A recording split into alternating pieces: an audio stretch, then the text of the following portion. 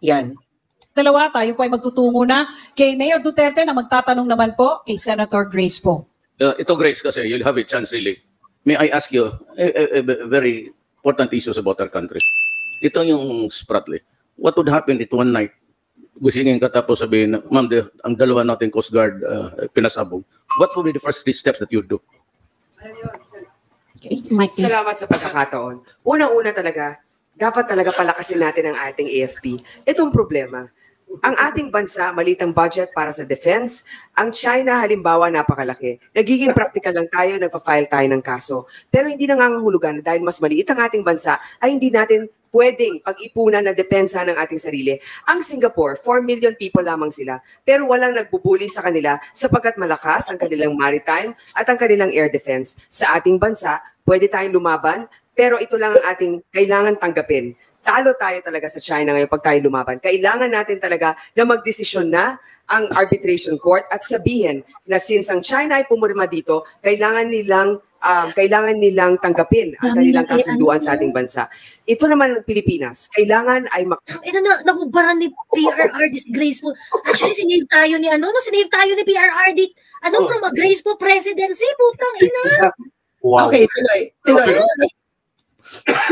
Pagsapalaran kasama ng mga ibang ASEAN countries katulad ng Vietnam, Indonesia at Malaysia para constructively engage ang China to follow a code of conduct. Hindi ko papayagan na mamamatay ang ating mga sundalo na walang kalaban-laban. Pero ito yung problema. Ang budget ng ating AFP, dapat bibili na tayo ng surface-to-air missile para man lamang madepensa ng ating sarili. Pero nung ginawa ng administrasyon na ito, pinalitan at sinabi ang bibili lang natin ay bulletproof vest at sombrero. Importante din yon. Pero bakit hindi pareho natin pwedeng bilhin yon? Pagkakataon na natin. Kaya sa atin ngayon, nakakalungkot hindi natin kaya, pero kailangan ay pag-ipunan na natin at siguraduhin natin sa, sa darating na mga taon ay kaya na nating depensahan ang ating sarili. At hindi tayo papayag kung kinakailangan bilang isang pangulo ay katokin ko ang pinto ng bawat bansa para tayuan nila ang pagkasunduan dito sa UNCLOS ay gagawin ko. Sapagkat itong realidad, pero sa tingin ko, pag nagsama-sama ang mga bansa para sabihin sa China, mali ka, Sama-sama tayo ay mananaig pa rin sa sitwasyon na ito. Mayor Duterte, do you have a Yeah, follow-up question? Ma'am, I am just uh, talking about the worst case scenario. Ang ang tanong ko kasi, ano, what would be the first steps that you would do if the, you are informed in the middle of the night, you're awakened, that yung dalawang Coast Guard cutter natin, pinasabog ng China with missiles, what would be the first three steps that you would do? Ang kailangan natin gawin ay syempre ang presidente, kailangan bumangon agad.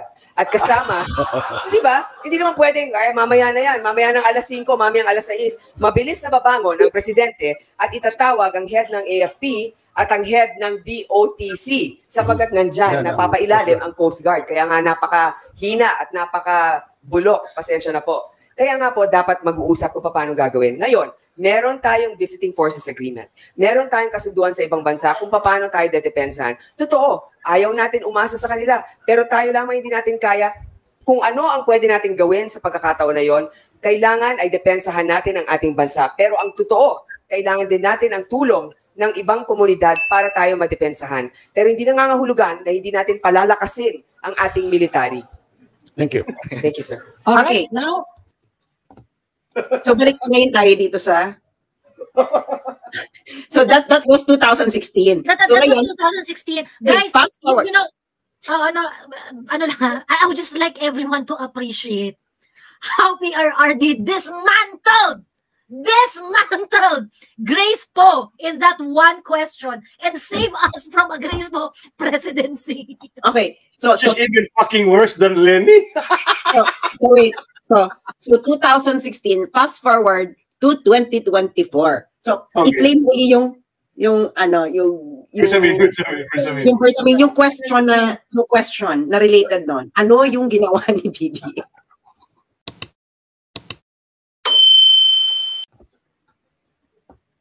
Ito. Ay! Naku, nawala. Teka lang ha. Hindi, ayan, sige lang, i-forward for mo lang. yung- Ayan, Joey, forward mo lang. Oo. Parang Okay. nasa, nasa, Yung, y- sige lang. yung si Centino. Second question yun We're eh. now opening the floor namin. for questions. Uh, Ms. Hindi. Marie Sumani from GMA. Next question. Forward pa. Next question. uh, the uh, council convened and approval Before of that, guidance of the president as regards to of the president's uh, National Before Maritime that, Council. yeah. That's the reason why the National Yan, yan. First of all, is the government alarmed with how China acted in the last and the Ah, latest no. Rore mission? Ayan. Second question. Sige lang, sige lang. Sige, sige lang, continue na lang. Yes, uh, the uh, national leadership uh, view these uh, incidents with uh, concern, and that's the reason why the National Maritime Council uh, was uh, convened this afternoon. This is the second uh, instance that the uh, National Maritime Council convened and came up with uh, recommend policy recommendations for the president's uh, approval and consideration. And uh, we are uh, we will be awaiting for the for uh, the uh, guidance of the president as regards to the policy recommendations that we submitted this afternoon. Uh, sir, um, do you have any information as to the morale of the troops on BRP Sierra Madre after the incident? Is there any fear that Chinese troops will try to force Filipino soldiers out of BRP Sierra Madre? Because based on how they acted, it seems like they are capable of doing this. The uh, chief of staff uh, uh, visited our uh, troops in the Western Command and uh, have seen how the status of the morale of our troops. Uh, he was able to talk with those who were sent to conduct the mission. While the mission did not go as planned, however, uh, we saw that the morale of our troops are high, and uh, we even uh, um, made sure that uh, those of our soldiers uh, were recognized and acknowledged for their uh, actions, their um, behavior in, in handling the incident that happened last Monday. And as to the second question, sir, the the based is there a fear that um, the Chinese troops will try to force the Filipino soldiers out of BRP Sierra Madre because based on how they acted in the latest Rode mission, they seem to be capable of doing that. That is always a consideration, and we will be prepared for that. Thank you, Maris. Next question, Julie Aurelio from Philippine Daily Inquirer. Hmm, Ito, ito, ito. Hello, sirs. Uh, this question may be answered by either the executive secretary or the presidential assistant. Um, may we get or may we, may we know how President Marcos reacted upon hearing of the news that the Chinese Coast Guard boarded the Philippine Navy vessel? Um, how was his demeanor? Was he angry? Or how did he uh, spoke about it? Ayan, ayan na yung question na very similar dun sa graceful question. Ayan, yan guys, yan, yung part na yan. Well, the president has always been uh, composed, and uh, immediately he uh, uh, asked uh, the concerned uh, cabinet secretaries to uh, discuss the matter with him, and uh, that, that's also uh, the imprimatur why we had this uh, National Maritime Council convened uh, today. Did he issue any preliminary instructions that the public may know? Um, as I have, as mentioned by the executive secretary, chairman of the NMC, uh, we just submitted the uh, policy recommendations for his consideration. Were there any um, executive secretary? Were there any efforts so far to reach out to China? Well, uh, those are uh, matters that uh, pertain to a proper office, the Department of Foreign Affairs, and uh, we have yet. Okay na, ES naman. Not, not the president, ha? Boss, boss, kailan nangyari itong incident na to? June 17. Bakla June 20, kailan to nangyari itong conference na to? Kanina. So, 17, 18, 19, 20, 21. Four days. Wala ka pang sagot sa tanong if there if there are any efforts to connect co- to to to con- contact China. Four days. Bex. Four days. Yung ES, walang sagot. Sinabi nga, hindi, ano po may responsibilidad po nito, DFA. Bakla yung presidente na yung Office of, you represent the office of the motherfucking president. ES He is the, he, he is the little president. Just He is the little president. you you are the president is the commander in chief of the armed forces and he is also the chief the highest diplomat in the land. Bakit mo pa i-refer ng DFA Nakaka, ano, no, parang tinanggap na ni ES Bersamin na magbubububuhan, ano? girl tama dito. Oh, dito may mapupunta ditong Rowan eh. May maganda ditong sagot no? Ang maganda ditong sagot is pag nangyari yon there are three things that you should do Yeah, nakita ko yan. Confirm confirm confirm news call China negotiate negotiate, yes. Si So- Arlo, si Arlo ang valedictorian natin today. Ayun, Arlo for today Mhm. For today, si Arlo. Alam mo si Arlo parang yan itong background. Oh. Military background. ano yung background mo? Mag, mag, Hmm. gumamit ka. Nako, Carlo 2023. Ay, yung mga hindi nakakuha ng stars today, better luck next sex- next session ha. Kasi meron na tayong valedictorian. Arlo, ano ka? Anong background mo? Ikaw ha? Cheating ha? Nako, nasa, mas, master's degree, Sevilla. nasa master's degree, umupo ng first year undergraduate para magmukhang bright. Oo nga. No? Bakit ka nakikisali sa grade 1? Arlo! Guys, did, did you hear the question? Meron akong efforts to to call, to Reach out, reach out. reach out to China. Hmm. Bersamin said, ito po ay responsibilidad ng DFA. Tang ina, no? Four days. Four days since the event. Four days. Diyos me. Tang ina. Actually, sa totoo lang, incoherent talaga lahat ng sinasabi nila. eh. Like, for example, ah, nagpunta doon yung chief of staff and mataas naman yung moral ng mga sundalo. It did not go as planned, pero mataas ang moral nila. Parang, Sir, sundalo kayo eh. Ang mga sundalo, tumataas ang moral kapag ka ang plano ay natutupad. Pag hindi natupad ang plano, low moral sila. Hindi pa Kahit sino, Joey. Sentence yung ano, hindi, it did not go as planned and yet mataas yung moral nila. Kahit hindi sa plano, na. kahit tayo nga eh, if we don't, if, we, if our plan doesn't go our way, talagang hindi tayo, nadidismaya tayo. Eh, paano na yung mga militar? Ano nga ba yung plano? Ang tanong, may plano? At sino yung nagplano? At sino yung nagplano? Hindi ba dapat alam to ng ano ng ng commander-in-chief? Uh-uh. Uy, ah, interesting ha. Nung nag-press con si Browner, ah, the press, pre, ah, the press, ah, parang ah, inaano si Browner, yung nagtatanong yung press kasi very ano, very strict yung ano eh, mga line of questioning, ah, talagang pinipigilan talaga nila. Kasi kinukulit ng ano, isang ah, reporter doon. Kung ah, yung ah, plano ba na yon ng PH, ah, Philippine Navy ah, went through the entire chain of command and ah, yung ah, reporter na yon was implying or nag, nag ah, indirectly asking whether ah, BBM know uh, know uh, doon sa plano nga na yon, no? And Browner talagang ina ano niya, tama na, tama na. We, we, we, Dinedeflect niya, kuya. Dinedeflect niya, eh, di ba? So- talagang there was an effort na, so, It's a simple yes or no answer. It's a simple yes or no answer. Pag sinabi mong yes, then the ball is in the president. Pag sinabi mong no, the ball is still with the president because he's the Oh. commander-in-chief. Bakit bakit dito may mga nagpaplano-plano na hindi mo alam? Did you order it? Hindi ba? Ngayon, if you ordered it, kasi ano ito eh, um, the commander-in-chief right now is caught between the devil and the deep blue sea, pun intended. So, so, as a diplomat, he failed. As the chief diplomat of the Philippines, he failed for for four days. Hindi ka pa out. And as chief and as commander-in-chief, he also failed. He also failed. Why? Dahil hindi mo alam may plano and the plan and the plan and the and and what happened didn't go as planned. Who planned it? And why it didn't go as planned? Was there a plan? Mm-mm. So so ito po yung presidente gusto niyo tayong i ano maglilid ng gera? Grace po vibe. Bex, din may itsura ni Bersamin habang sinasagot niya sa DFA Para siyang natatae. Para siya, alam niya mali yan eh. Mali, mali yan sinasabi niya eh, oh. Okay, let's play it. Continue. Ayan, look. But, uh, Ulitin natin yung sagot niya. Ulitin natin yung sagot niya.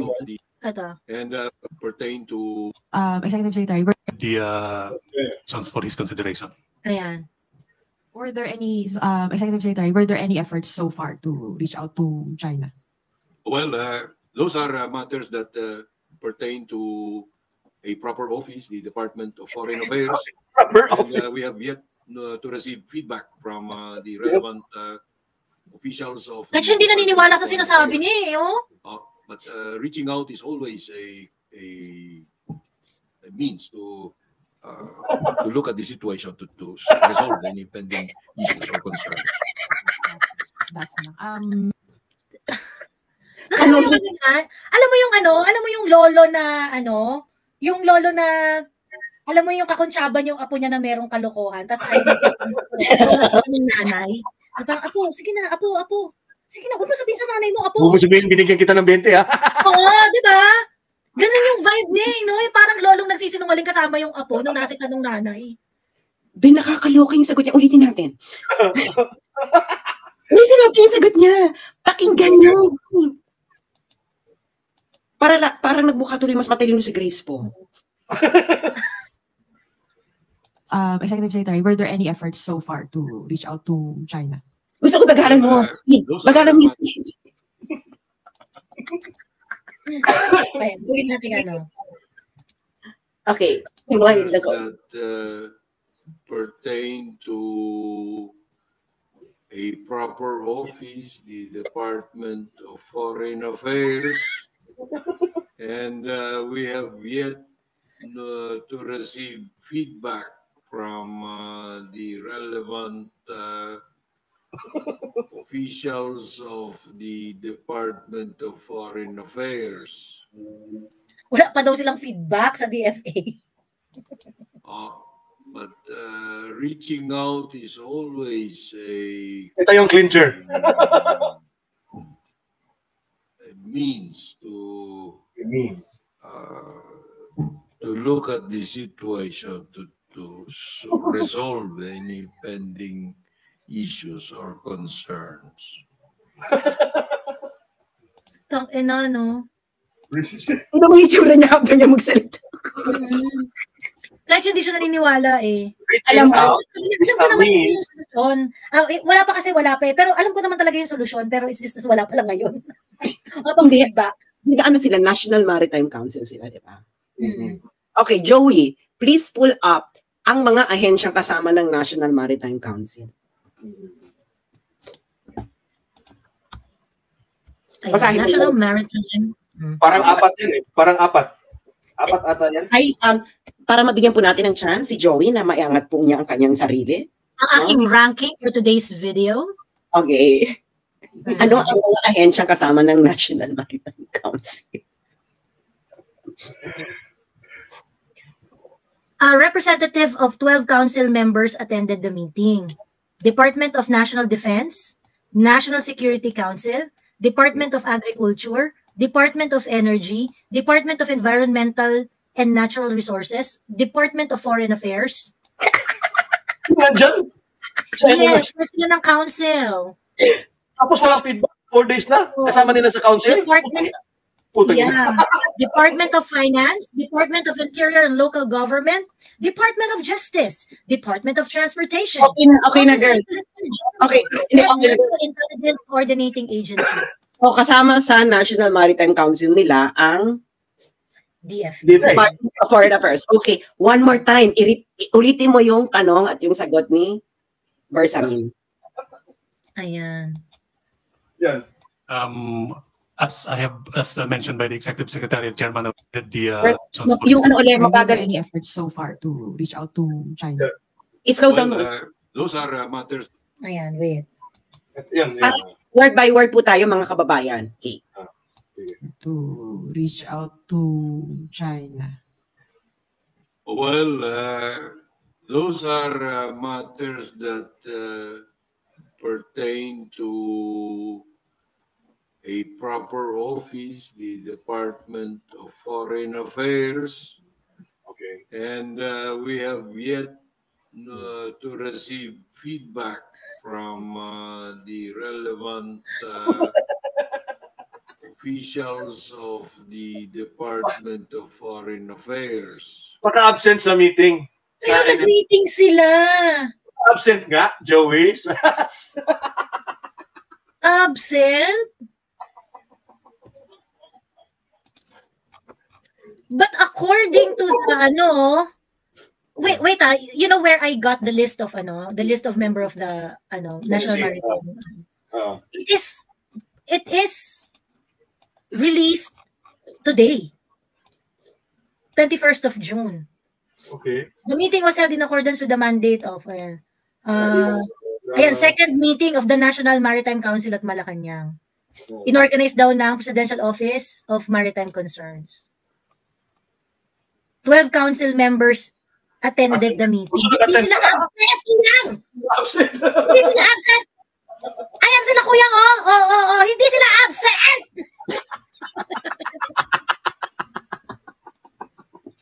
Putang ina nyo! Okay. Putang ina nyo! Okay, now let's let's go back to his answer. Tang in, ang sakit sa heart!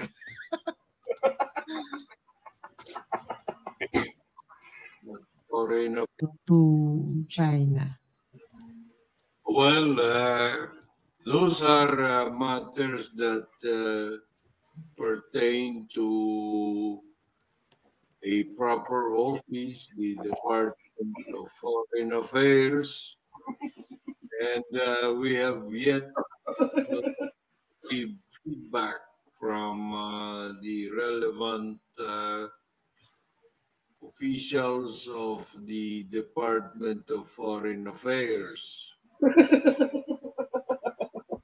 Uh, reaching out is always a, a, a means to uh, to look at the situation to, to resolve any pending issues or concerns. We have to parse through that ano, Sas. Um, Reaching out is always ano yung anong sabi niya? Reaching Ang sabi out niya, reaching out is always a good way to look, way to then look look at the situation, um, resolve the resolve current issues. current issues. To It's back from uh, the to reach to, and uh, we have yet uh, to receive feedback from uh, the relevant uh, officials of the Department of Foreign Affairs. Uh, but We are yet to receive feedback from the direct to the relevant agency Department of Foreign Affairs. uh, reaching out is always a, Reaching out is always a, a It's lost for words means for a moment. to, uh, to look at the situation to, to resolve any pending issues or concerns. ano ano yun sabi niya to res- looking at the situation or resolve any pending issues. ano, issues in the Bakla! Ano ba yung pending issues? Tapos ba't, ba't maglo-looking at ka pa? so, we're we're talking at the same ano the same um high ranking officers who had suspended several public officials voted upon yes. by the people Yes. Yes. Who apparently doesn't know uh, that reaching out it is not just a way of looking at something. Actually, what you should be doing already, or what you should have done already within 24 hours. 24 hours. It's for Next. four days. Bex, 20, June 21, hindi pa kayo nakakakuha ng information from the relevant officials. Bex, there's only one relevant official in the DFA and that is the DFA secretary. And why did Actually, it take and why did it take four days to convene? days. To convene Eh, the bakit, eh bakit kailangan pa yung DFA secretary? Eh yan yung presidente oh. The president can simply order the executive secretary, connect me to Beijing. Yes. I want to Kasi talk ito pinakakatawa yung meeting ha, yung meeting nangyari sa Malacanang.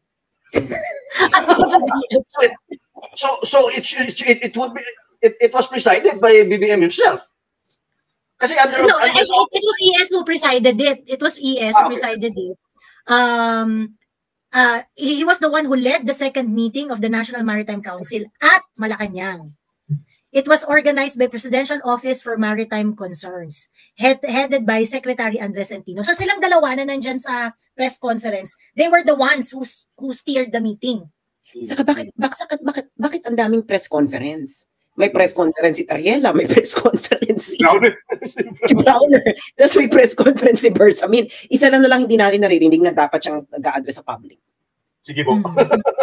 Yung presidente. Presidente, Presidente. oo. Hindi nagsasalita eh. Hindi nagsasalita sa inuuna. Awayin yung... Pero girl, alarming ito. With, within 24 hours, dapat nakausap mo na ang China. Actually, within one hour nga, upon receiving the the news, you should already be talking to to China eh. Actually, habang nangyayari, actually, habang nangyayari yung bardagulan doon, dapat kinakausap mo na dahil, oy, nagpapapigil Dapat real time. Dapat real time. Real time nagmo-monitor yung ano, yung ah, NSA mo or kung sino ba yan na designated by the president. Nagka-monitor yan dapat sa mga ganitong operation. Kasi Navy yan eh, military operation yan eh. So he should, he should, been, should have been updated in an hourly basis. Okay, tuloy po natin ang, ang press conference. Baka mas marami pa tayong mapulot na aral. I-normal speed mo, girl. Normal speed mo naman. Ayan na. Ibalik na natin sa normal na mundo si to look at the situation to, to resolve any pending issues or concerns. Just last, last lang. Um, is the government thinking of elevating this to a higher international body, this latest, latest incident? There is no, that's not yet in consideration no? because I think uh, this is a matter that can easily be resolved uh, very soon uh, by us. Very And if China wants to work with us, we can. Uh, we'll work with China. Last question from Anna Bao from JMA Online. Okay, Sir Centino po. Sir, uh, does this incident, uh, given na sir may seven soldiers na sugatan, may naputulan ng daliri, uh, this is does this fall po sa invocation ng Mutual Defense Treaty with the US? Well, uh, to to be accurate with the uh, the status of our soldiers, th- there was only one who got uh, injured. Uh, as, Pause! Pause! Pause!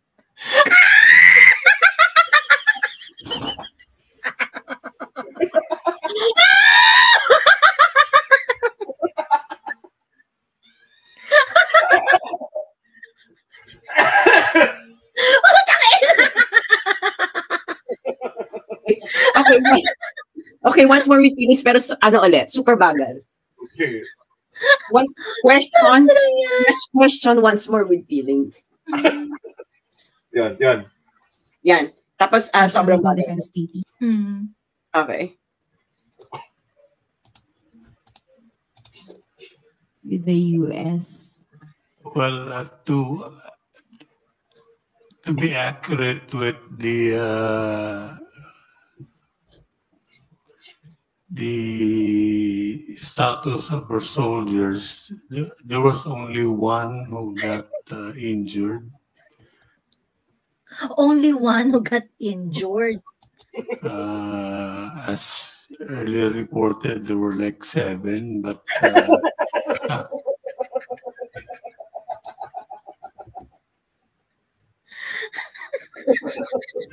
Four, day, four days.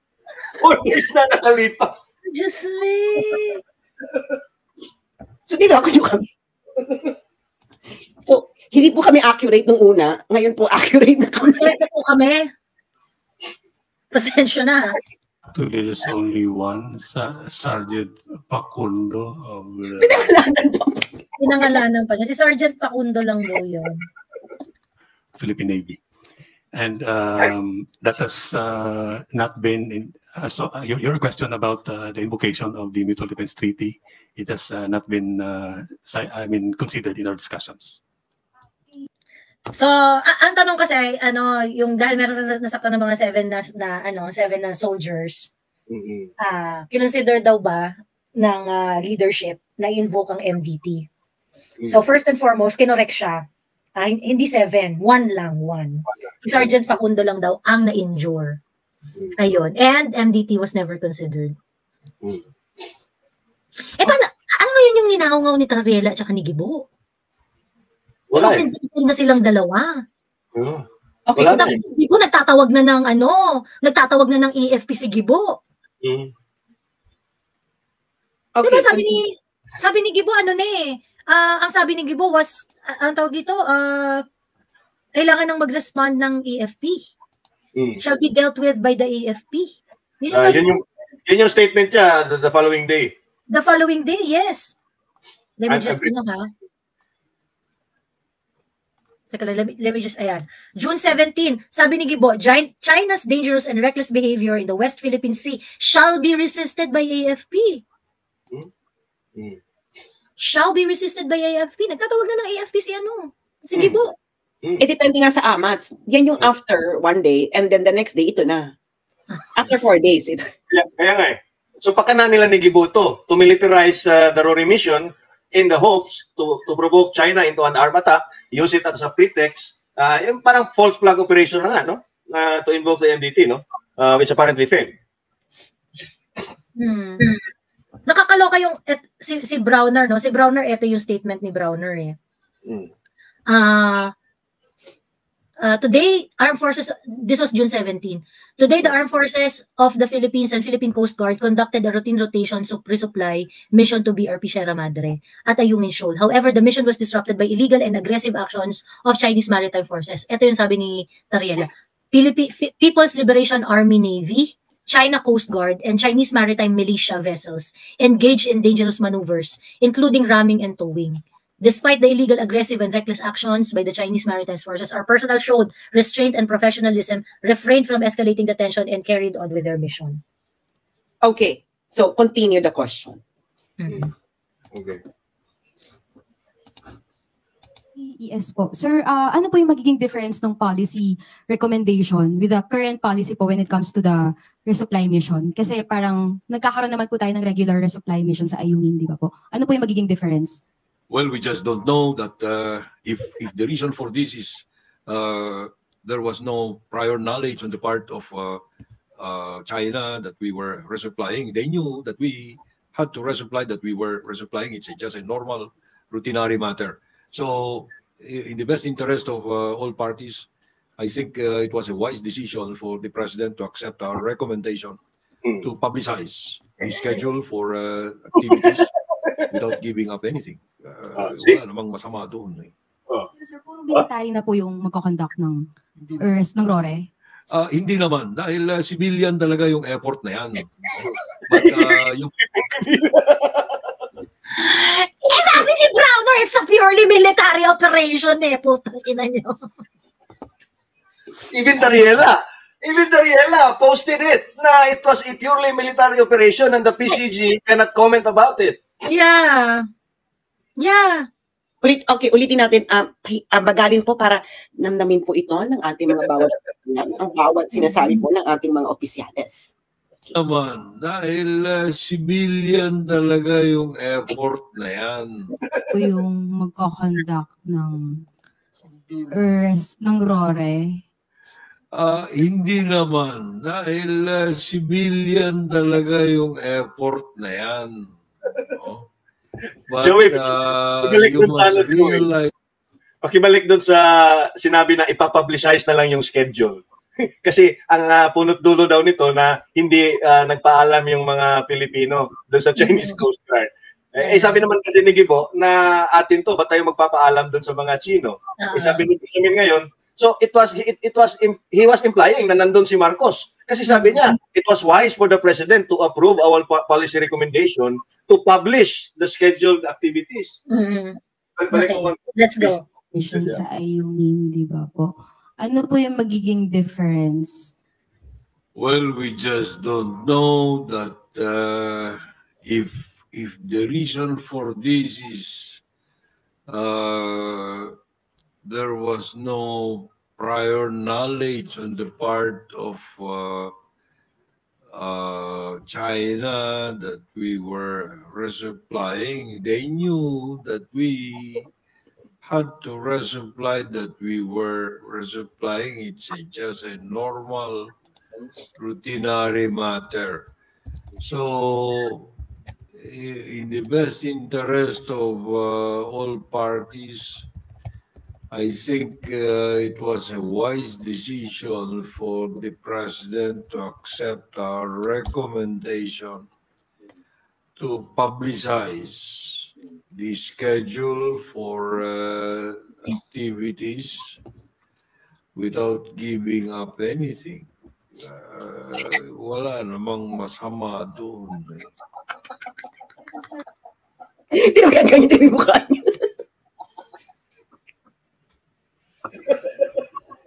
My God. Wow na. okay naman pala sa inyo, Philippine ah, ah, National Maritime Council. Ba't hindi nyo pa ginawa last year? Kailangan nyo pang kaya ang may mabutulan ng daliri. Alire, Diyos me. Eh, okay naman pala. Yun din naman pala magiging recommendation. Diyos me. Ano yung mga ginawa niya? Naglulokhan ng tingayo. Kailangan pang, kaila, baka yun talaga yung kailangan. Kailangan may maputol pandaliri bago may, may mas masahan. Di ba one year, di ba one, halos over a year kayong nag-ano, hindi, hindi natin kailangan magpaalam, atin to, kaya hindi natin kailangan magpaalam. Tapos ngayon, ang recommendation nyo, pwede naman nating inform. Wala namang masama doon. Ipapublicize pa nga eh. uh, on a newspaper of national, national circulation. Yung nakakaloka, bakit kailangan pa i-publicize? Ang hinihiling lang naman, mag-coordinate tayo mga best. Bakit may publication, pagkagastos ka pa? ay makipag-usap. Alam mo, parang silang yung ano, parang silang yung, al- alam mo yung, yung passive-aggressive na, ano, na parang, ah, hindi ko to kakausapin ng gut. yung, yung parang ganun nga. Parang, Oo, parang no, yung tatampo na, ano ba? Alam niya na na siya yung mali, pero Oh, hindi siya pero ayaw ko rin. makikipag-usap. Ayaw ko Mm. makipag-usap. Mm-mm. So, ganito lang yung gagawin ko. Oh. Ipopost ko na lang yung sasabihin ko dito. Basta basahin mo na lang. Di ba yung mga jowa na nag-aaway? Tapos sa kainan na? So, nag- may pagkain na dun sa ano. Oo. Pero hindi pa rin Tapos maghahain lang ako dito, bahala kang pumunta. Malapit ka kung kakain. Takina. Eh, bakit kailangan, bakit kailangan pong gumastos para mag-publicize? Ano yun? Bakit hindi na lang kayo, mag- kailangan lang naman mag-coordinate? Tawagan. Lang. Yes. The day before or two days before. Yun, na, yun na naman ang hinihingi ng China Coast Guard eh. And in fact, yun na nga yung meet ng ano eh. Di ba yun na yung model? An agreement eh. Or yung... Baka yun din yung gentleman's agreement. So, bumalik din kayo sa gentleman's agreement. Okay, tuloy. Tuloy po ang ating tanungan. Ayan. Di, ang sakit sa kilikili. Magkakonduct no? Ano? Ang sakit sa kilikili ng mga nangyayaring to. Okay, go. Arrest ng Rore? Ah, hindi naman dahil ah, civilian talaga yung effort na yan. no? But ah, you must realize also that the people who are there in Sierra Madre are military components. So if ever there is a rotation, no? rotation ang tawag doon. Yung nambobola, tingnan mo yung mukha. There. Mm. To that extent, military yun. Sir, last na po on my part. Does uh, the Philippine government consider this as an armed attack po? No. Uh, well, you know, this was probably a misunderstanding. Okay, bagalan mo yan. Bagalan mo yan, girl. Para namnamin natin. Okay. Consider this as an armed attack po? No. Uh, well, y- you know, this was probably a misunderstanding or an accident. We are not yet ready to classify this as an armed attack. Yung, I don't know kung yung mga na nakita namin is uh, mga bolo,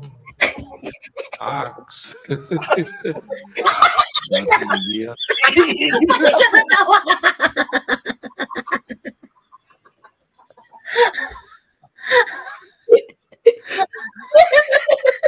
Diyos ne. Bolo. Sabi niya.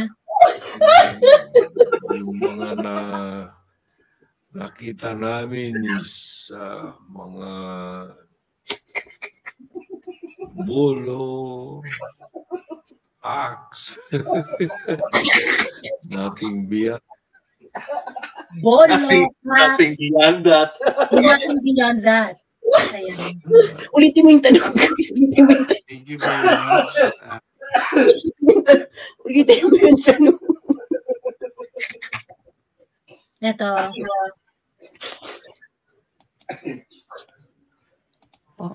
No. Uh, well, you know, this was probably a misunderstanding or an accident. We are not yet ready to classify this as an armed attack. Eh, Yung, I don't know kung yung mga na nakita namin is uh, mga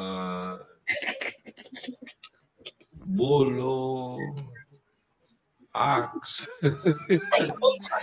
nating biyak. Nothing beyond that. Yeah, nothing beyond that. Nothing beyond that. Siya natawa sa sinasabi. Tingnan siya natawa. Thank you very much, uh, Executive Secretary Bersamin and Secretary Centino. And that concludes our press conference this afternoon. Thank you, Malaki Press Corps. Thank you, everyone. Finish na, finish na. Thank you. Thank you pa siya. And that's it, Pansit. Ah, kakasira ng ulo tong mga to. Grabe, no? It's just a misunderstanding or or an accident. yung mga nating nating bolo, axe, nothing beyond that. Nakawa. Nakita natin bolo.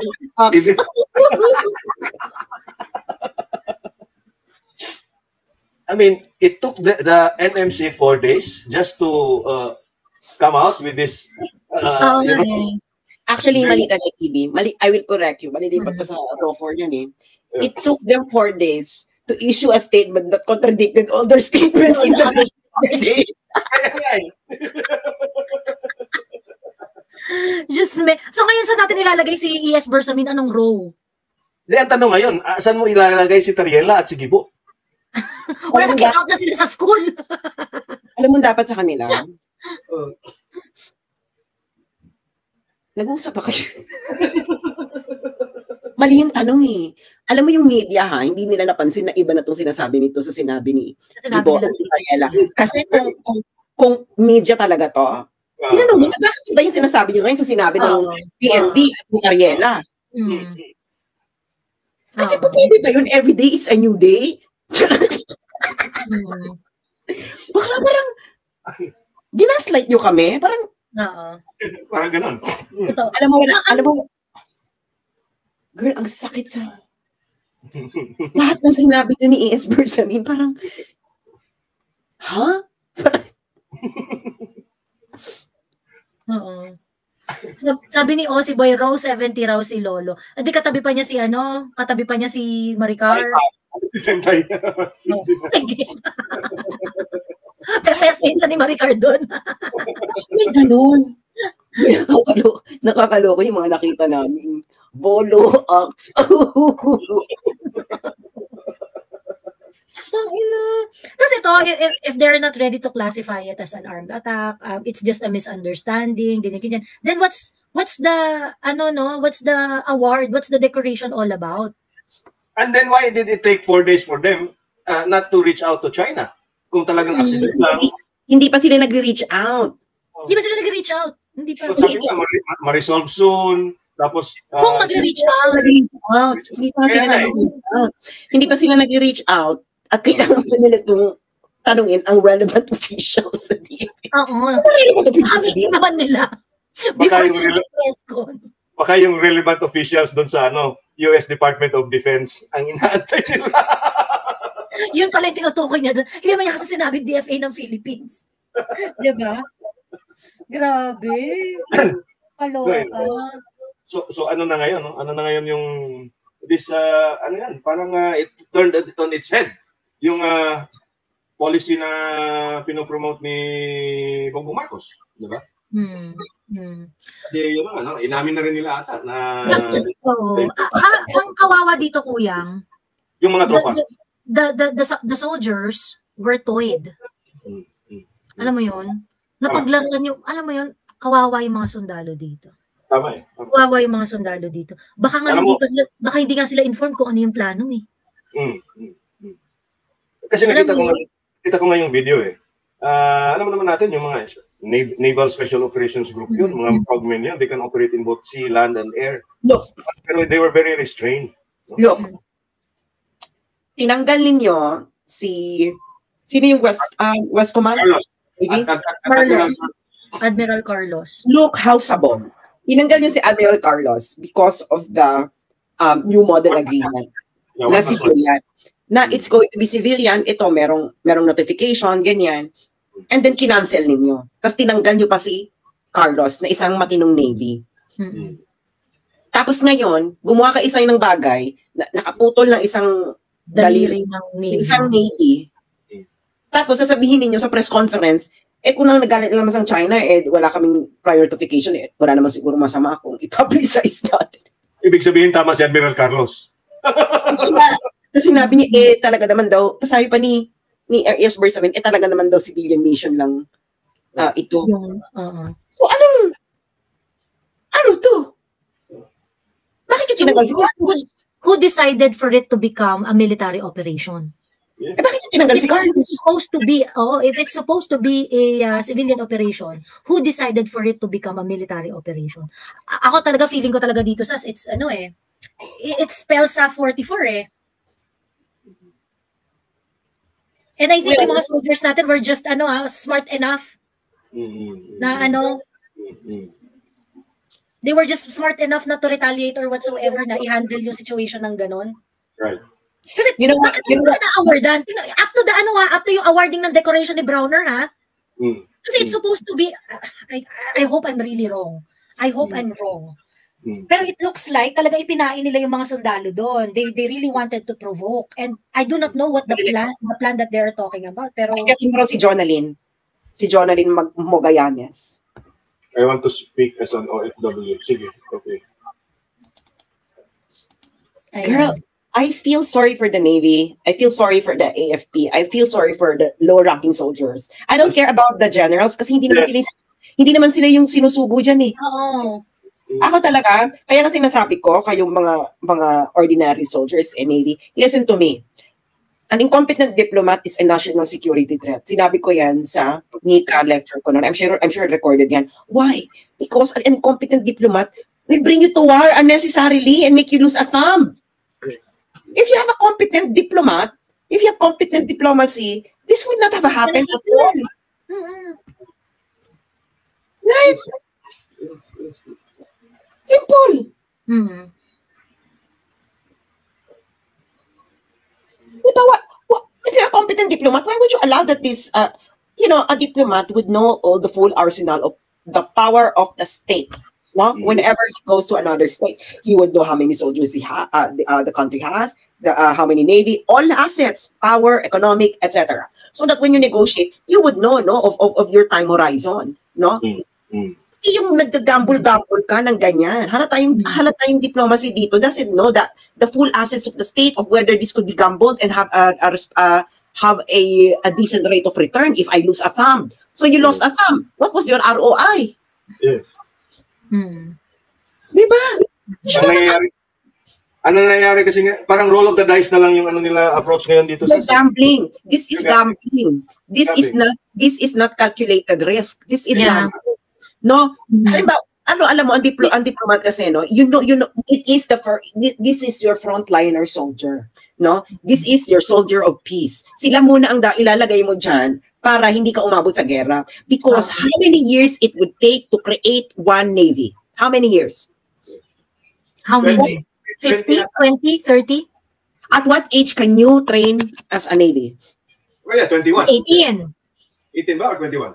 18, At what 18. 18 18 so how many years from 18 for uh, uh, for uh, for someone who entered the navy to become a full navy or a navy seal? Ilang years Ah, they they need to get yung pagiging Navy SEAL, additional training na yun eh. So dapat they get the basic course first, di ba? Yeah, yung Hindi enlistment. natin was four? Six, sabihin seven? natin, sabihin natin 25 so kailangan magkantutan ng dalawang tao in order to produce a, a, a warm body A, a, At warm ano, body an able body for ano. uh, that warm body have to be nutri uh, well nutrition for 18 years and Yes. after 18 years it would have to be educated by the state and then trained as a navy seal so it takes 25 years to produce one navy. Sabihin na natin it will take a state to produce one navy. Bakla if i will have one lives lost that would be, amount to 25 years of investment of the state. Hmm. that is the cost. So what's my roi if i will sacrifice one navy? It must be higher than One, one, one, Producing, one. uh, producing the, production cost of one Navy. Yes, that would be that should be higher than the 25 years of my investment. Oh, if I lost a thumb of one of one of my navy, magkano yan? Sabihin na natin na uh, 25 years plus uh, one fourth of 25. That's my ROI for one lost thumb. Did I? No. I, you you suffered a lot. No, you lost a lot without you didn't gain anything. So, sino may may kasalanan nito? It's a chief diplomat because the chief diplomat doesn't know the full asset of the state and how long and how long do this asset can be replenished, can be produced, etc., and then compute the proper ROI if I'm going to gamble any of these assets in my foreign policy. That is the proper way of conducting foreign policy. no? You always have ask ROI. Bakla, we, you don't you don't have infinite resources. hindi hindi po tayo si Thanos, no? With infinite infinite rings. Our resources are limited.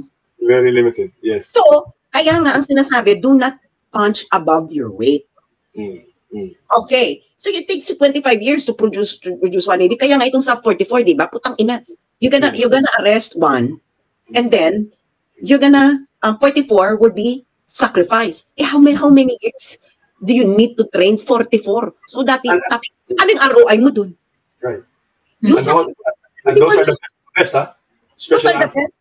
Air Forces. Diba?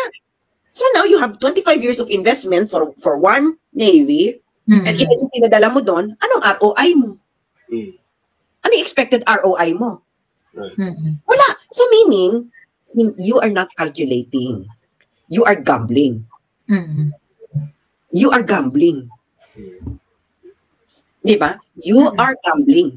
As simple And as gambling na mataas yung ano, mataas yung chances of losing. Yeah, hindi pa hindi pa nga to 50-50 eh. Hindi pa nga to 50-50, correct. Kaya nga eh, kasi, kasi, kasi, alimbawa, dun sa mga investments, no? um, Mayroong tinatawag dyan na ano eh, risk to reward ratio eh. Yes. Your amount of risk is worth the reward, no? If uh, that uh, investment is successful, no? So apparently, wala silang uh, ano dyan. So what is the reward? So what is the reward? What is the reward that they are For actually trying to accomplish for this risk? For, for that risk. Ako, ako, pag, pag, pag proper ka, no, pag, pag, pag proper ka na, na, na strategies, those are the questions that you need to ask. What the fuck is the reward that you are that you are after with this kind of risk? This kind of, uh, with this kind of uh, risk, correct. As simple as that. Pero, hindi ka na dapat dumating doon sa strategies, dapat pinag-isipan na to before ka nag-launch, lang, nag-launch na ganyan. Bakla, kaya nga dapat ang gagawin mo, low risk, high reward. Yun nga dapat ang gagawin mo, eh, get a something low risk, high reward. Diba? Or, or, or pwede ka pa niyang mag-comparative, no? Mag-comparative, ah, magcompa- mag-comparative ka ng, tu- ng different courses of action. Di ba? Pwede kang mag-min-max, mag-max-max. Di ba? Pero syempre, gusto mo min-max, ah, min-max, no? Di ba? Minimum, effort, maximum reward, or maximum, ano, Yes. Meron, meron kang table niyan. O, itong course of action na to, ito ang ating risk, ito ang ating reward. Bakla, this is very basic in strategy. And who among these people ever thought of that? Kasi sasabihin kami na it didn't go as planned. Putang ina, what was the plan? Ano yung, ano yung, ano yung, ano ninyo, risk reward table ninyo sa inyong mga plano? Which one didn't go as planned? Ano ba yung inano nyo dyan? High risk, high reward? Yan ba yung kinuha yung plan? Putang ina, you, you need to, you need to shape up, no? Now, if you don't know how to compute these things, ibig sabihin, get out. Give the position to someone who knows how to calculate risk and reward in operations like this. Dahil you are gambling the future and lives of the country unnecessarily. You don't deserve that position. Mm. Tapos tatawa ka, oh, bolo, ox. Bobo, axe. Nothing beyond that. nothing beyond that. Yeah. Oo. So the thumb was lost in vain. I'm so sorry, thumb. I'm Very so much sorry. in vain. Kaya yun, kita mo yung itsura no, ano, ni Sergeant Pacundo ba yun? Ah, nung sinabitan siya, talagang alam niya sa sarili niya na ginawa lang siyang ano, ah, collateral. Yung ah, campaign collateral ni Browner nung magpa-photo op doon sa ano, si gilid niya habang nakahiga siya doon sa hospital bed, no? So and then they have the, the they have this uh, they have the audacity or or, or this you know Oo. tayo, magpaakyat tayo dito ng ano, ng sa mga tao, ano, andiyan si Daniel Long. Wala, wala ba dito, wala ba dito na sa ano, financial ah, financial risk an- an- analysis or mga actuarial science? Mm. Ayan. Diba? Oh, ayan ang link. Akyat ang gustong umakyat. Sino ito? Si Snake ng Brazil. Ayan, from ano yan? From the land down under. Oh, di ba? O, umak- umakyat dito yung may alam sa ano, ah, financial risk ah, ah, manage financial management. Ay, hindi. Iba pala to. Ah, sino ba to? Nagtrabaho din ako sa financial uh, Ay, institute. ayan, si ano pala to? Si, oo. Okay, Ayan. snake ng Hindi snake ng Brazil. land down under. Iba palang Okay, ano snake yan. snake ng Brazil. I'm gonna ask you a question. If you are going to convert the variables in this scenario into financial terms, how would you assess it? well, well kailangan talagang i-weigh, i-weigh in ang risk and reward in the situation. However, it is not feasible. Um, the, the risk would be more gr- greater. Um, I think, ano naman, in terms of business line, talaga mahilig, mahilig rin yung mga tao mag gumawa ng mga higher risk and higher reward. But I do not see the reward after this. Yun lang. Uh, it's more of a high risk, but I don't know where the reward siguro sa, sa Diyos na nangyaylawa. I, I guess. So so you mean say snake na ano na eh, eh, hindi quantifiable yung ano ah, sa tingin mo hindi quantifiable yung ah, reward Ah, it is not worth yeah in in a business term it's not worth taking the risk of if there's no clear reward that i can get out of such risk na papasokin dito unless it's actually clear. Kasi if you just papuntahin mo lang ako sa eh, mag-invest lang ako ng bagay tapos hindi mo mai-clarify sa akin mga bagay ng ano yung makukuha ko out of it what the hell should i spend my ano why the hell should i spend my money on on such risk naman di ba? Such investment. Yun po so so so do you do, do you really believe na it, it wasn't worth uh, the risk uh, that uh, the government took uh, in this action on, on July 17 ano ba yung nangyari sa July 17? Kasi ako, I, I am trying to get, uh, finifilter ko yung mga noises para hindi ako, hindi ako, pati nga dito yung mga family ko, I'm trying to educate them to, Mhm. to, not to fall into fake news. right right right right right, Kaya, right. ano ang nangyari? Uh, can you, ano, can you guys, ano, tell me Hindi pala nasasabayan ni Snake ng nasasabayan. Uh, hila, hila. Ano ba, yun nga yung, yung pinag-uusapan namin the entire time. entire time. Yung kwento sa Ayungin Shoal. Ah, yun, yun, yun. Uh, Four days ago, yes. Ah. And then the press release nga uh, of the National Maritime Council dun sa nangyari nga uh, just uh, recently, no, about four or five hours ago, na parang nag-de-escalate na sila from the escal escalate from the escalate escalating uh, tone Incident. of uh, Ariela and uh, Gibo Teodoro the past few months. Uh, When this incident happened, uh, parang nag-iba yung tono ng uh, uh, executive secretary and eventually, eventually parang gusto nila mag-de-escalate no? uh, from the situation. No. So, ibig sabihin, na-realize nila, hindi pala nakakuha, hindi na nakuha yung backup na nakailangan nila doon sa US. God Ayan. damn it. Ayan, sige lang, sige lang. Anyway, ayan. None, none is the wise. None is the wiser. It is the uh, we have actually been warned of not doing this, not to venture on such risk. Nga si, and we have our one of our uh, expert nga si ano, I, I don't know what to call her right now. Si Ma'am Sas. And uh, kami mga mga OFW, we are actually we're aware that are you really really that crazy to to do to do your ano makipagduke ka sa against one of the most important business partners ng US. Do you think ano ginagawa lang tayong pawn? You, you know, you know, you know what? Hindi, alam naman ako na ayoko ba naman pala mga credential uh, plus ano. Pero ako po ay graduate sa Hong Kong, no? Open University of Hong Kong, ng Bachelor of Business Administration in Human Resource Management. Okay. Kaya alam mo ako sabi ko about risk and reward. Um, meron ako quantitative methods for decision making. Kaya alam ko to. okay. Sabihin ko lang sa inyo, ha, um, meron din akong um, introduct, ah, meron din akong marketing, meron din akong ah, microeconomics, meron akong accounting 1, accounting 2, meron din akong financial management, meron din akong management policy and strategy, strategic human resource management, at managing an organization. So among other among other things. Kaya nga, sinasabi ko, this is very basic in strategy, no? There is a quantitative me- quantitative method for decision making. I'm pretty sure yung mga nag-aral dito ng, ng, ng, ng, ng business administration or any financial management courses, you are aware of decision tree. Decision trees, correct? Yes, ma'am. Yes, ma'am. Ah, decision tree. Okay? So yung mga yung mga nakikinig dito, I suggest that after this, you go to Google and then take a Coursera free Yes. course on decision tree. Okay? Decision tree. Okay? So that you can actually um, foresee the different courses of action and your- the risk and reward. Okay? Well, if, if you don't want decision tree, there is a payoff matrix, no? Alam din ni Cas. Alam mo, Sas, ang gusto ko lang i-share, yung ano, sa corporate, di ba, um, yung sabi mo nga basic nga ito, di ba? Sa corporate world na tinatawag na, ewan, ewan ko yung mga nag-operational excellence, uh, yung failure mode error analysis, kung saan um, yung pinaka-ridiculous na error na pwedeng mangyari, like halimbawa, um, lumindol, anong gagawin mo to continue yung operations? Dapat nakalista na lahat ng mga possible ano mo, solutions mo.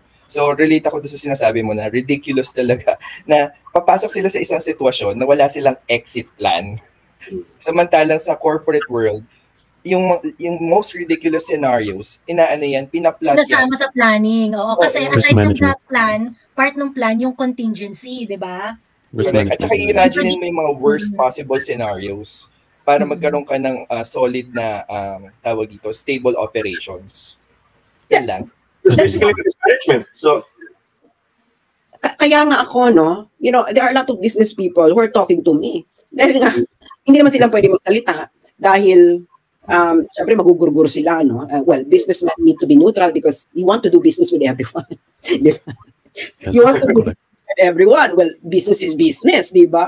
Pero naluloka sila. So ako na lang sinasabihan nila, ano, na mag, mag ah, sa kanila sinasabi yung kanilang hinaing. And I'm just like putting it out there without really telling people who are actually telling me this. No, I, I want to protect their reputations. Pero ang ina, yung isa dyan, gumra- nag-Wharton. Yung presidente nag-Wharton, nag-Oxford, hindi niya to alam. Baka naman kasi hindi pala talaga. Feeling ko, uh, inano nila, in FMEA nila is yung kung paano nila malulusutan yung mga panggagago nila. Hindi, yata dumaan sa risk management. Di ba? Dex, pinagmamalaki mo, nag-Wharton ka. Hindi mo nga lang natapos, pero nag-Wharton ka pa rin. Bakla, quantitative decision making, quanti- quantitative decision, uh, quantitative method for decision making is an undergraduate course. Ma'am Sas, You take so you, we take it, you take it in your first year in Ma'am, business sorry to administration. Wait, Ma'am, Johnny sorry to interrupt. Ang gusto ko lang po mag ang gusto ko lang po naman talaga mag magbigay ng ano ng panawagan bilang OFW ng Hong Kong. Kasi hindi naman ako makaka-attend this coming 23 kasi may trabaho ako. I'm just a broken hearted kasi nga pumunta ako ng Hong Kong at the age of 18 years old kasi wala akong wala akong opportunity. Kaya kaya ako nag-try na pumunta at mag mag ano yun, yung makisingit sa inyo para ipaalam po sana kay Bongbong Marcos ang pangako niya. Ang Ayan. pangako niya noon. Journaling yung audio mo nag-feedback ka. Ah, kasi kasi naka-loudspeak siguro ako. Ah, sorry. Hindi, first time ko kasi gusto ko Ayan, nag, ah, ano ka, hindi ka maintindihan, Jonalyn. Ah, okay. So maybe I'm just gonna sign out. Hindi ka, first time ko kasi kaya hindi ko alam. Ayan. Hindi pa, ganun pa rin. Better na, better na po. Kasi nga, gusto ko lang magkaroon ng, magkaroon ng boses ba kay Bongbong Marcos. Kasi ang sabi niya, makakauwi na yung mga OFW na hindi na kailangan namin magtrabaho dito. Kasi ako, 18 years old pa lang ako, nandito na ako sa Hong Kong. At gusto ko lang, ang pangako niya na makakauwi na kami at hindi na kami kailangan magtrabaho bilang OFW, kundi pupunta kami dito dahil gusto namin. Pagod na pagod na rin ako. Wala na akong 21 years old, 21 years na ako dito. 18 years old lang ako pumunta dito. Wala akong kamuwang-muwang. Lahat ng kadasan, nararamdaman ko lahat ng kamunduhan dito ko nalalaman. Ang Lahat ng kaibigan ko nung umalis ako ng Pilipinas, nawala dito sa abroad. Akala ko kasi maging okay na kaya la buong pamilya ko. In-encourage ko na butuhin siya kasi makakauwi na ako. Nung nagkasakit ang pamangkin ko ng cancer, wala anak, wala wala akong asawa, wala. Parents lang, kapatid at pamangkin. Nung nagkasakit ang pamangkin ko ng cancer, nag-apply kami sa PCSO. Kahit isang dose lang, gamot ko. Wala akong nakuha. Every chemo ko ng pamangkin ko, 54,000 ang binabayaran ko. Lahat yun akin. Gamot, bayad sa ton, lahat. Paano ko kukuha ng ganun kalaking hagaga? Kailangan ko utang sa bangko, kailangan ko utang sa tao. Kaya pinapamot ko sa gobyernong to, ang sanang pangako mo, at pangako mo, Pangulo. Mhm. Pinaglaban kita. Pinaglaban kita. Yun lang po. Sige po, Miss Jonalyn, na, na- naririnig ka po namin na iintindihan po namin yung sentimiento nyo. Yun lang po ang gusto kong ipa. O, nag-make up na makalive. Inyo kasi napapagod na rin ako. Pagod, pagod na ako. Um, sana yung pangako. Nag-aral din ako dito sa entrepreneurial management sa kabila. Helper ako. I tried to become someone na pati ko ng Pilipinas. Pasok ko na matinong trabaho.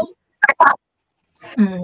Um, ano, Miss Jonalyn, ano po, no, naintindihan po namin yung pinagdadaanan ninyo at talaga namang kaya po natin ginagawa ito kasi para ilakas yung boses natin. Marinig tayo ng Pangulo dahil sa mga bagay na inaasahan natin sa kanya. Um, Miss, Miss Jonah, um, ano po, no, kasi, po yung audio po ninyo, masyado pong maingay, masyado, hindi po namin naiintindihan eksakto yung mga words. Ayan, pero wag, wag po kayong mag-alala, rest assured na naiintindihan namin yung mga sentimento nyo na ganyan. Naiintindihan po namin. At, at, opo, opo. Kaya po, kaya po, ito, ito mga discussion na to, ah, kaya natin ginagawa ito para marinig ng Pangulo. Ayan. Pero, in the meantime, ibababa mo na kita ha, kasi yung audio na, ano, masyadong, oo, nag, nag, ano, nag, nag-feedback ng bonggang-bongga. Ayun. Okay? Ah, sige, sige. Oo. Thank you very much, Miss Jonah, ha? Ayan. Meron pang nag-feedback. Ayan po. Testing, testing. Test, test. Ayan. Ayan. Si Jonah nga yung nag-feedback. Ayan. Ang tawag dito, um, yung feelings ni Jonah, no, ganyan naman talagang nararamdaman ng karamihang tao, lalo na yung umasa ng BBM. And, ano, nung, uh, ako parang yung feedback na gagaling kay Danny Villanueva. Hello po, Sir Danny. pakifix po. Opo. Kay Sir Danny. Kay Sir Danny. Sorry, pakifix po. Ayan. Ah, lalabas ako. No, no, no, lower your, lower volume lang ng speaker. Ah, okay. Ayan, ako kay Sir Danny nga. Kay Sir Danny nga nanggagaling ang feedback. Ayun. So, ano, ano, ang tawag dito, Jonalyn, naiintindihan ka namin. Huwag kang mag-alala. Kasi yun nga yung reason kaya ginagawa natin to, no? Kaya tayo, kaya natin nilalakasan yung boses natin, kaya tayo nag-uusap-usap. Ah, ramdam ka namin, Jonalyn, hindi ka nag-iisa. Okay? And yon, sabi nga ni Jane, keep fighting ate. Keep fighting, Jonalyn. Huwag kang mag-give up. Kasi, um, mas importante magsama-sama tayo at maging strong tayo para sa isa't isa. Okay? Mag-ingat ka dyan, um, uh, Miss Jonalyn, and um, ano, ayun. Oh, tsaka sa susunod pwede kang mag-join ano uh, with better audio, with better ano para mas ma, mas magkaintindihan tayo. Ayan. Okay, hello Rotten. Ay, hello po. Naririnig Ayan. po ba ako?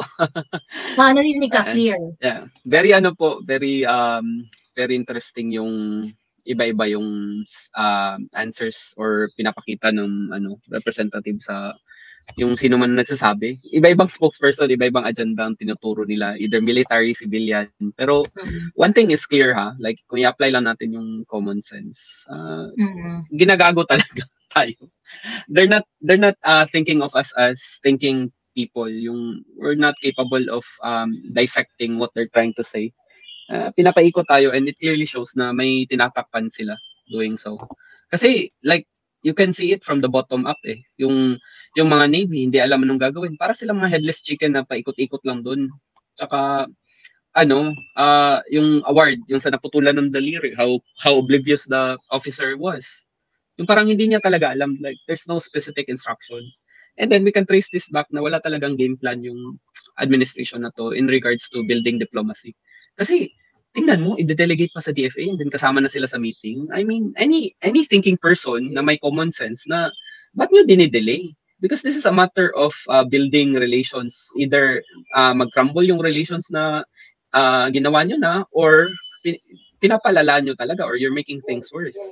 So from from their ab- abhorrent um, neglect sa sa pagpapa pagpapa-escalate or pag, pag-reach out man lang sa sa neighboring country na may friction tayo, it says a lot of things na they, they don't really want to pursue that way. They're, Mm. they're gonna go the other way, which is, you know, conflict. So sa akin lang, uh, kasi I'm really advocating for, you know, healthcare and ano, sana sana maging ano, maging louder pa yung bosses natin dito kasi look, I, I think it's really time to remove incompetent people out of there. They're wasting people's money, they're wasting our time, they're wasting the nation's progress. Uh, they're building wider gaps with our ASEAN neighbors. Ayoko naman maging uh, ano, maging insecure ang tono natin, pero napag-iwanan na po talaga tayo, which is uh, it it it worsens poverty and ano kasi nandiyan na yan it's a it's a reality that most of the Filipinos are living um which is ang hirap talaga ng kalagayan sa Pinas kahit nga ako gusto kong umuwi eh, to be honest. Ang hirap kaya na, ano, ang hirap kaya mamuhay sa ibang bansa sa totoo lang. Ikaw lahat. Whereas um, sa Pinas, ang dami mong, ano, ang dami mong pwedeng uh, mag-ask ka ng tulong or ganun. Pero, you know, ang gaya ng sentiments ni Ate Jonah, yung umiyak kanina, look, ganun po talaga kahirap. Uh, that's life. Ganun po ang pinagdadaanan ng typical na OFW. Sa iba. Mm-mm. And sa, Tapos dinadagdagan ko ng mga personal problems, di ba? Oh, yan. Mm. Mm-hmm. Tapos yung mga, yung mga, Hoy, uh, hey friend, kumusta? Mga gano'n. so, Parang meron ka sobra dyan. oh, so, going back sa topic ni Sas, walang ROI yata to.